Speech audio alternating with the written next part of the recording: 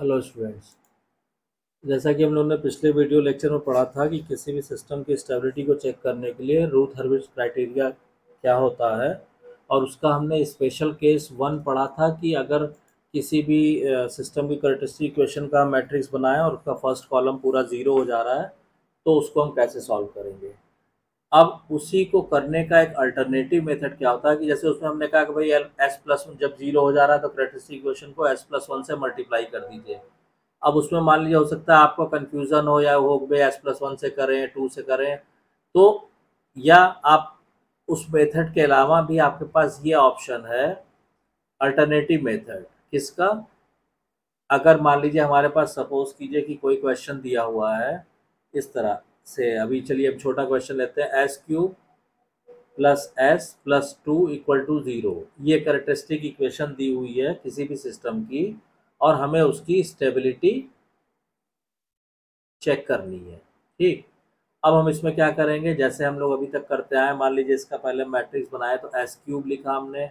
S square S one और S zero ऐसे लिखेंगे। अब एस क्यूब हो गया वन और उसके बाद क्या होगा? एस स्क्वायर तो टर्म है नहीं। देखिए, यहाँ पे एस स्क्वायर की टर्म नहीं है तो आप एस स्क्वायर का कोफिशियंट ज़ीरो मान लीजिए। मतलब क्या हुआ? आप इसको ऐसे मान लीजिए S cube plus zero into S square plus one into S plus two equal to zero तो अब जब इससे आप बनाएँगे तो एस क्यूब का कोफिशियंट हो गया वन और एस का हो गया वन स्क्वायर का हो गया ज़ीरो और ये हो गया टू ये आ गया। अब देखिए, पहले कॉलम का पहला एलिमेंट ही ज़ीरो आ गया। यही यही प्रॉब्लम है ना? तो इसको सॉल्व करने का एक तरीका तो आपको पिछले वीडियो लेक्चर में बताया था। दूसरा एक और अल्टरनेट मेथड जो हमने लिखा है, वो क्या है कि आप क्या कीजिए, इसमें replace zero zero by epsilon और एप्साइलन क्या है? ये आप समझ लीजिए वेरी स्मॉल क्वांटिटी इससे हमने रिप्लेस कर दिया। तो जब आप इससे रिप्लेस कर देंगे तो अब यहीं पे हम हटा दे रहे हैं। इसको हटा के आप यहाँ लिख दीजिए एप्साइलन ऐसे समझिए। ठीक? या मान लीजिए यहाँ आपको कन्फ्यूज़न हो जाएगा तो इतनी देर में हम नीचे ही लिख देते हैं दोबारा से। सपोज़ कीजिए ये हो गया। अब इसको रिप्लेस करने के बाद जब हम लिखेंगे तो क्या आएगा? S cube S square S one S zero तो ये जैसे वन वन था, हमने लिख लिया। फिर ज़ीरो की जगह एप्साइलन लिख दिया हमने टू और फिर जो फार्मूला आपको जिस दिन रूथ हर्बिट्स क्राइटेरिया का जो पहला लेक्चर है, उसमें आपको बताया था, उससे कैलकुलेट करेंगे तो यहाँ आ जाएगा माइनस वन अपॉन एप्साइलन और ये हो जाएगा टू माइनस एप्साइलन ये आएगा, यहाँ पे क्या आएगा? यहाँ, ये आए, कुछ नहीं आएगा क्योंकि यहाँ थर्ड कॉलम है ही नहीं। फिर एस ज़ीरो आप निकालेंगे, ये टू आ जाएगा, ठीक? अब आप ये देखिए, अब फ़र्स्ट कॉलम को आप चेक कीजिए, ठीक? तो क्या होगा कि number of sign number of sign change in first column in first column देखिए कितना हो रहा है, ठीक है? ये आपका, देखिए, ये पॉजिटिव है, ये अच्छा this is a very small positive quantity है ये, पॉजिटिव पॉजिटिव इंटीजर समझ लीजिए ऐसे। तो ये ये पॉजिटिव है, ये पॉजिटिव है, और यहाँ पे टू में से बहुत स्मॉल घटाएँगे तो पॉजिटिव होगा, लेकिन ये निगेटिव इसको डुबा दे रहा तो ये निगेटिव है, और फिर यहाँ से फिर ये पॉजिटिव है। यानी दो बार चेंज हो रहा है। एक बार यहाँ से यहाँ निगेटिव हो रहा है, और फिर निगेटिव से यहाँ पॉजिटिव हो रहा है। यानी दो बार साइन चेंज हो रहा है। तो नंबर ऑफ़ रूट्स क्या हो गए? Number of roots in right half right half of S plane कितने आ गए? टू आ गए। अब जब दो रूट आपके राइट हाफ़ में आ गए तो सिस्टम क्या होगा? अरे सिस्टम अनस्टेबल होगा, सीधी सी बात है। तो आपको पता चल गया सिस्टम अनस्टेबल है। तो इस तरह से आप एप्साइलन मान के भी जब ज़ीरो आ जाए तो आप एप्साइलन मान के कर सकते हैं। एप्साइलन देखिएगा कि एप्साइलन क्या है? This is a very small positive quantity या वेरी स्मॉल पॉजिटिव इंटीजर ये ध्यान रखिएगा। तो ऐसे भी आप इन क्वेश्चन को कर सकते हैं, ठीक? तो आई होप कि आपको ये क्लियर हो गया होगा। कोई डाउट कोई कन्फ्यूज़न है तो आप मेंशन करिएगा कमेंट लाइन में, ठीक है? या मुझे मैसेज करिएगा तो मेल पे या फिर सारे सोशल लिंक्स भी पड़े हुए हैं इस पर चैनल के। तो मैं इसको, हालाँकि इसमें कोई ऐसी प्रॉब्लम आएगी नहीं।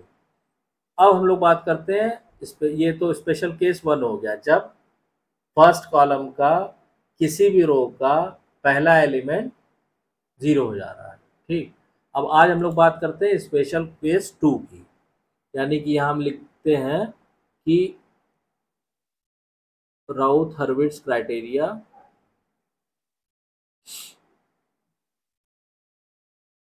और इसमें हम लेते हैं special case two, second case लेते हैं। ठीक है? इसमें क्या होगा कि सेकेंड केस में क्या होता है कि when any one row of Routh table is zero ठीक है? वेन एनी वन रो पूरी रो ही ज़ीरो हो जा रही when when any one row of जो रूट टेबल हम बनाते हैं, वो ज़ीरो हो गई। तो वो ज़ीरो हो गई तो वहीं तो टर्मिनेट हो जाएगा। When any one row of Routh table is zero तो फिर क्या करते हैं? ये है मेन केस इसमें लिखिए देखिए, इसमें क्या है कि when any one row of Routh table is zero it indicates that the equation has at least one pair of roots which lie radially opposite each other and equidistant from origin. तो पहली चीज़ तो ये समझ लीजिए कि ये जो special case to होता है, इसका मतलब क्या होता है?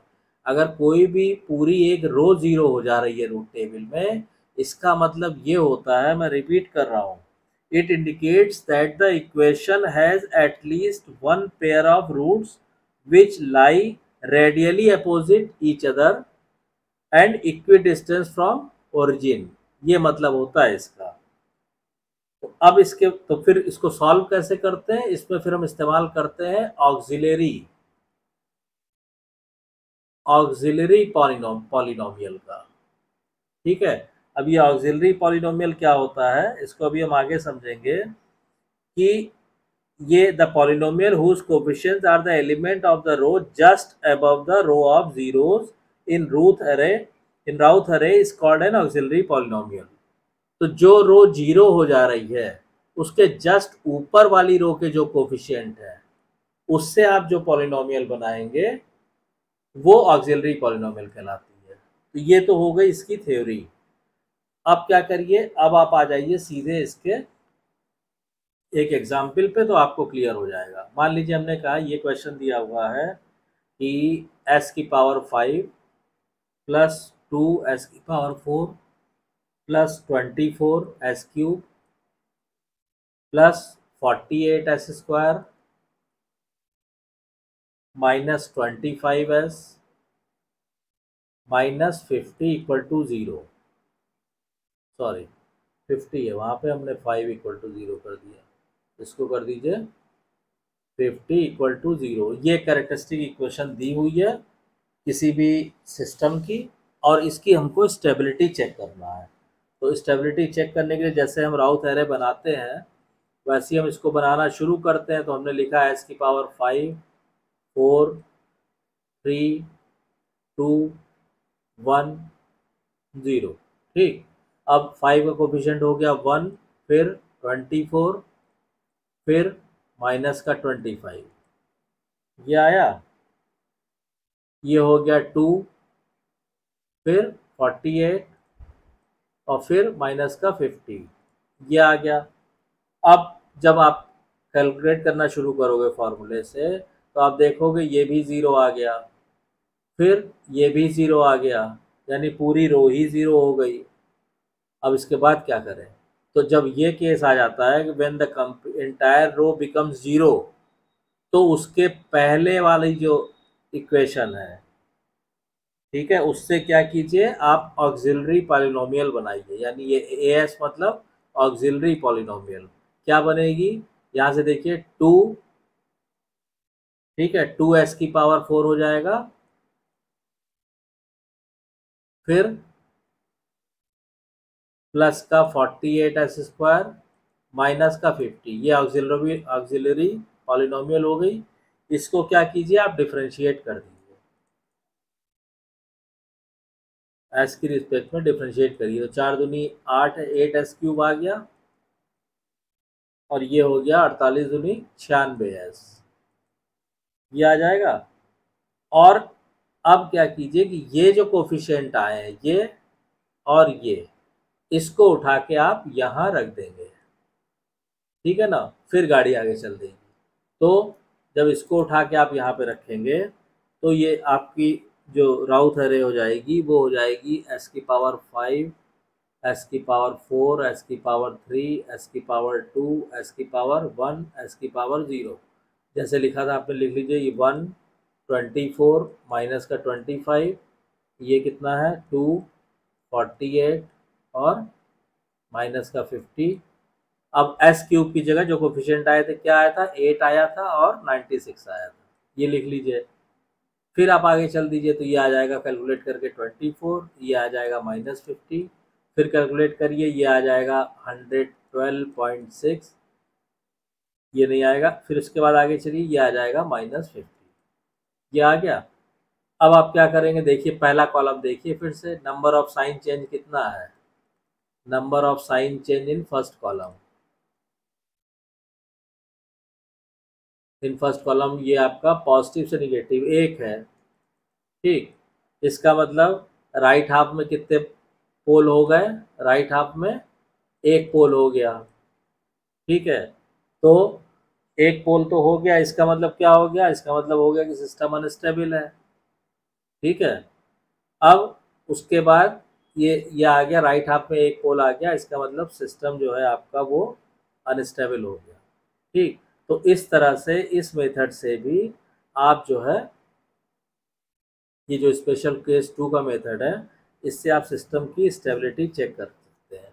अब इसमें ऑक्सिलरी ऑक्सिलरी पॉलिनोमियल का क्या रोल है और इसका क्या इम्पोर्टेंस है, ये हम लोग नेक्स्ट लेक्चर में डिस्कस करेंगे। तो आई होप कि आपको ये क्लियर हो गया होगा, कोई डाउट कोई कन्फ्यूज़न है तो कमेंट लाइन में कमेंट कीजिए और अगर वीडियो कंटेंट पसंद आ रहा है तो प्लीज़ वीडियो को शेयर कीजिए लाइक कीजिए चैनल को सब्सक्राइब कीजिए और नोटिफिकेशन बेल को ऑन कर दीजिए ताकि नेक्स्ट वीडियो की इन्फॉर्मेशन आपको तुरंत मिल जाए। Thank you